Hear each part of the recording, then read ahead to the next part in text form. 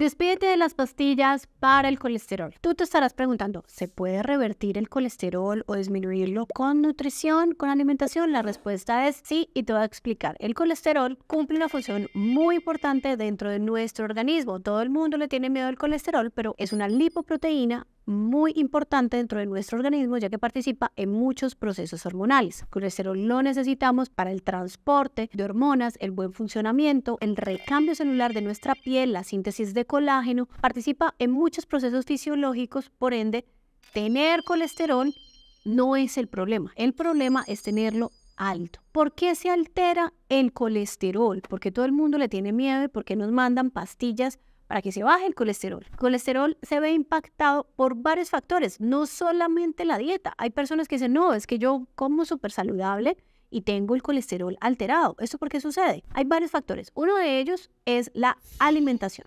Entonces, con alimentación hay varias causas. Una es que una persona consuma muchas grasas saturadas dentro de su dieta y esto sucede cuando la persona al mismo tiempo consume muchos carbohidratos. Entonces, si tú tienes una alimentación como la gran mayoría de los latinoamericanos, que es una alimentación alta en carbohidratos, que dentro del mismo plato vemos papas, tortillas, arroz, pasta, todo dentro del mismo plato, muy pocos vegetales. Y aparte de eso, consumes muchas grasas saturadas, muchas frituras o productos de la calle, es muy factible que el colesterol se te eleve. El problema no es comer huevo, dejen de echarle la culpa al huevo, que el huevo es lo que eleva el colesterol. Claro, por supuesto, el huevo en su yema tiene grasa, que es una grasa que es saludable. Sin embargo, si tú el resto de tu alimentación la tienes mal, como lo acabo de explicar, pues obviamente el huevo puede impactar, pero no es la responsabilidad del huevo es el resto de los alimentos lo que están generando una alteración.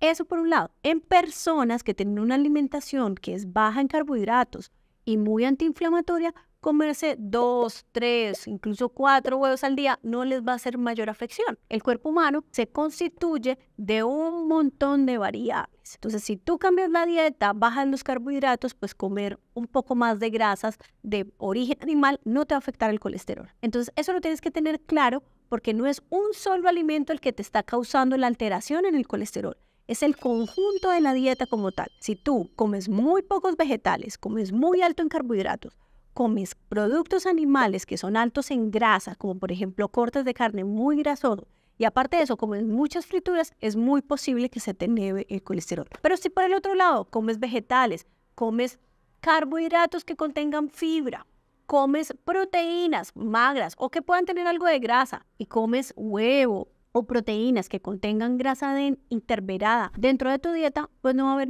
una mayor afectación y el colesterol no se te va a elevar. Entonces lo tienes que tener claro porque todo depende del conjunto de hábitos. Así que no hay un solo alimento que te suba el colesterol, así como tampoco hay un solo alimento que te baje el colesterol. Ahora bien, ¿La solución cuando el colesterol se eleva es eliminar el huevo y los mariscos? No. Hay que revisar otro de los factores que puede estar influyendo en que tu colesterol se eleve, como por ejemplo la inflamación crónica. ¿Qué es la inflamación crónica? No es otra cosa que le estás poniendo a tu cuerpo un montón de nutrientes o un montón de, más bien, toxinas que están inflamando tu organismo. Cuando hablo de inflamación crónica no me estoy refiriendo al sistema digestivo, me estoy refiriendo al proceso que tu cuerpo utiliza y tu sistema inmune utiliza para combatir las toxinas. Entonces, cuando tú consumes alcohol, consumes frituras, azúcares, ultraprocesados, te trasnochas usas productos de higiene muy altos en tóxicos, toxinas o aditivos. Te encantan las cosas con aditivos, colorantes, saborizantes.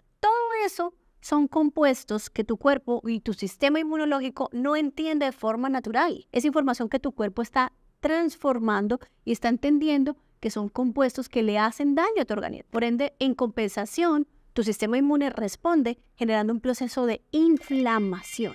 Entonces, y si aparte de eso duermes mal, aparte de eso, te gusta fumar o tienes alguno de estos tipos de hábitos o sufres de muchísimo estrés, no haces actividad física, pues todo esto va a repercutir de forma negativa en que estés inflamado crónicamente y que no tengas algo que lo revierta o contribuya positivamente a tu sistema inmunológico. Otro de los factores claves en que se te eleve el colesterol es este proceso de inflamación crónica. Asimismo, el azúcar contribuye de forma negativa a la inflamación crónica. El azúcar altera tu ambiente hormonal, elevando de forma consistente los picos de insulina que a largo plazo generan un proceso de inflamación. Así que el azúcar también va a contribuir de forma negativa. Entonces, de lo primero que debes dejar es, por supuesto, el azúcar, los alimentos ultraprocesados, los productos fritos, las frituras, los productos congelados que tengan muchísimos aditivos y cualquier producto alimenticio que tengan demasiado aditivo, muchos procesos de preparación. Obviamente, si tienes hábitos o vicios, como por ejemplo el alcohol, el tabaco, eso también habría que dejarlo para mejorar el proceso de inflamación crónica. Otra de las causas de alteración del colesterol también son la deficiencia de nutrientes. Algunos nutrientes, como por ejemplo vitamina B2, que impactan directamente el efecto funcionamiento metabólico del colesterol. Entonces, aquí hay que revisar varios factores, no solamente la dieta, sino también si estás cursando con un proceso inflamatorio que puede estar alterando tu colesterol o una deficiencia nutricional. Pero adicional a esto, el proceso de envejecimiento, tanto en, en hombres como en mujeres, va a afectar negativamente el colesterol. Cuando bajan las hormonas, que es el proceso natural, por ejemplo, en la menopausia, en la andropausia, el organismo de forma natural tiende a compensar la disponibilidad de colesterol y tiende a elevarlo. Por eso las mujeres en premenopausia, en su gran mayoría, ven una elevación de colesterol porque el cuerpo compensa, porque el colesterol funciona también como un transportador hormonal. Entre las funciones fundamentales que tienen es un transportador hormonal.